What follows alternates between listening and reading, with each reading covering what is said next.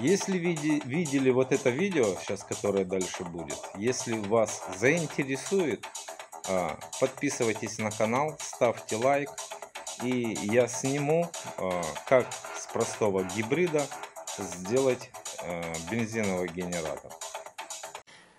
Та незважаючи на дефіцит електроенергії та як наслідок віялові та екстрені відключення, українці уже знайшли способи отримати світло навіть без генератора. Про одну із розробок розповість Артем Деркачов.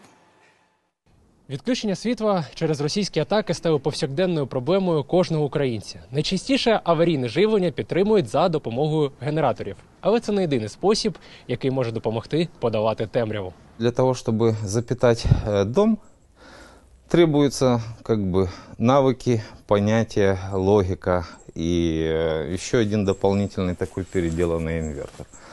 Вот и все. Дом можно запитать. Павло проживає в місті Миронівка, що на Київщині. Світла немає і сьогодні. Тож власник генератора на колесах охоче демонструє роботу свого пристрою. Батарея сейчас подзарядится, мы выключим автомобиль, подключим инвертор, вот, и покажем, как, в принципе, это все работает. Очікувати довелось недовго. За лічені хвилини на панелі видно, як батарея сигналізує про готовність автомобіля працювати в якості генератора. Залишилось лише під'єднати інвертор і можна включати світло. Света нету. А теперь мы подключаем наш гибрид а, через отдельный автомат. Все. Прямуємо у будинок, аби подивитись, на що ж вистачає роботи такого генератора. У нас работает холодильник. Холодильник.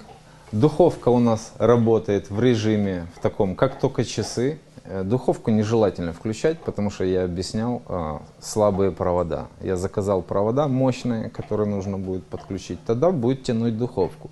Микроволновка отлично работает, без проблем. Телевизор, освещение по дому. Вот.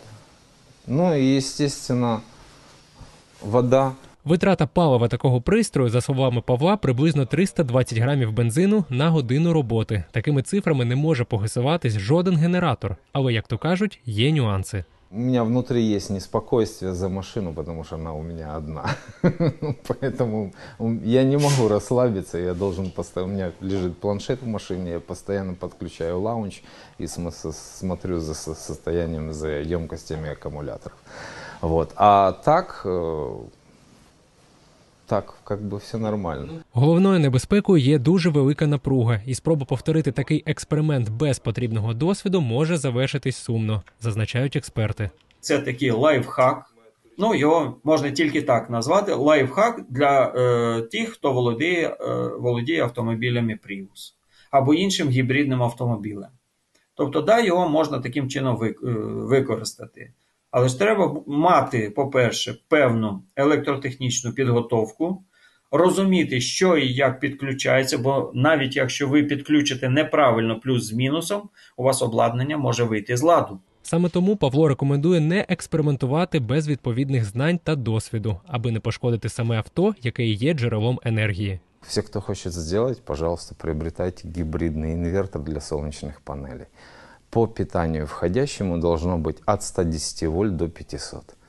Тогда можно запитать и Prius, тогда можно запитать более серьезные автомобили гибридные. Але навіть у такому випадку треба пам'ятати про власну безпеку.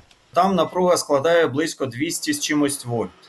Е, Це вже є небезпечною напругою. Тобто можна отримати ураження, якщо доторкнутися одночасно до плюсової та мінусової клем. Одночасно, якщо дотор- доторкнутися через людину пройде е, небезпечний струм, людина може отримати ураження. Юрій планує вдосконалювати свою систему, аби автономне живлення будинку було надійнішим.